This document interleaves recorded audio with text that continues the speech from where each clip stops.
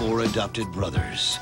With their mother gone, Why would anybody want to kill the sweetest woman in the world? all they have is each other. I Haven't seen you forever. Did you get your teeth white? And all they want is justice. Can't all be saints. This is going to require a little finesse. This is Detroit, in case y'all forgot. Four Brothers, rated R. Friday, August 12th, only in theaters.